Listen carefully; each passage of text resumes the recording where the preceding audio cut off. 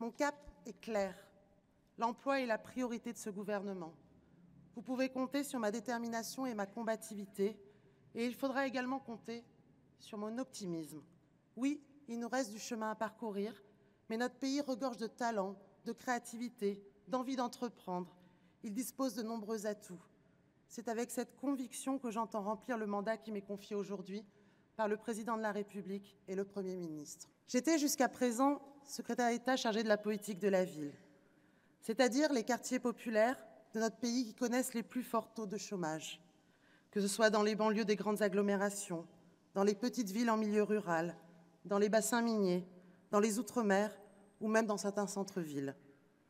Le taux de chômage y est deux fois plus élevé que partout ailleurs et peut atteindre jusqu'à 40% chez les jeunes.